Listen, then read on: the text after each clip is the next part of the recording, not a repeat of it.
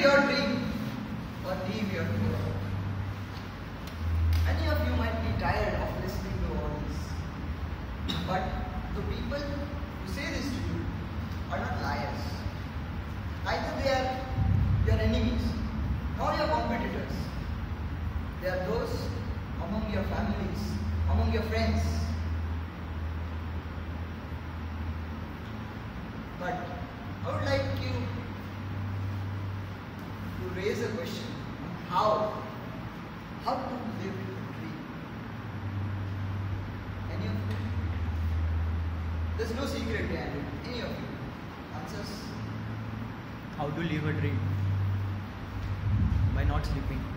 Just by sleeping.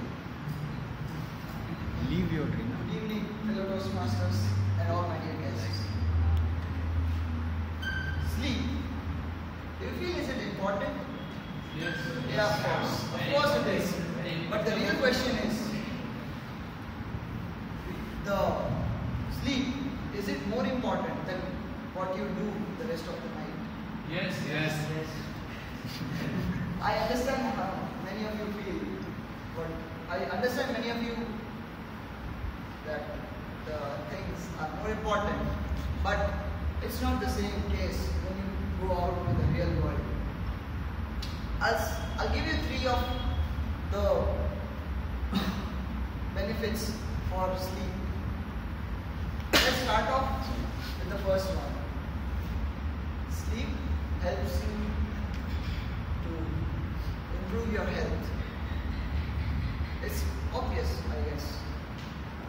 When you feel sick, you go to a doctor. What does he suggest? Go home, sleep, rest. When you a gym, after a heavy workout, your trainer suggests to go and sleep.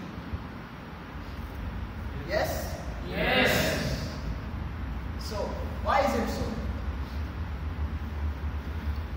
It's because that sleep helps your body to secrete an hormone which helps build the muscles, which repairs the tissues and also build up the process of building up of cell in your body. The next benefit I'll move on is it will improve your thinking ability. Your brain works faster after you wake up. It shows that study by done by the lot many scientists, but no one could oppose them that after sleeping, your brain works very fast. You can improve your uh, thinking ability, your creativity, your learning ability, as well as your uh, analytical skills as well. I've also experienced this on my personal behalf. When I was in 10th standard, I used to work very hard towards my goal as it was boards exam. And this is the first time every one of us might have faced. But the real test everybody do. It lay inside the amount of recollecting that you do during your exam. And that's what helped me stand out of everything. I used to sleep for 8 to 9 hours before appearing in the exam, which helped me to secure a 10 GPA which I got in the 10th. Let's move on. Another benefit of a sleep is that you get yourself more relaxed, more relaxed than ever. Have you ever wondered why? Because after eating, the process of your digestion doesn't work as fast as you think. But when you sleep, your digestion improves uh, four times faster than what you are when you awake.